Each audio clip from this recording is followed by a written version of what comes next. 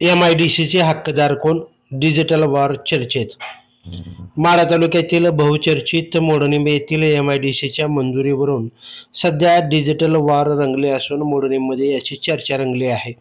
मोडनिंबमधील चौकाचौकात आमदार बबनराव शिंदे यांनी एम आय डी सी मंजूर करून आणल्याबद्दल हार्दिक अभिनंदन. अशा आशयाचे आमदार बबनराव शिंदे समर्थकांनी डिजिटल फलक लावले आहेत. तर एम आय डी सीचे खरे हक्कदार संजय बाबा कोकाटे व वैभव अण्णा मोरे यांनी एम आय डी सी मंजूर करून आणल्याबद्दल त्यांचे हार्दिक अभिनंदन. अशा आशयाचे डिजिटल तसेच सोशल मीडियातून पोस्ट शेअर केले गेले आहेत.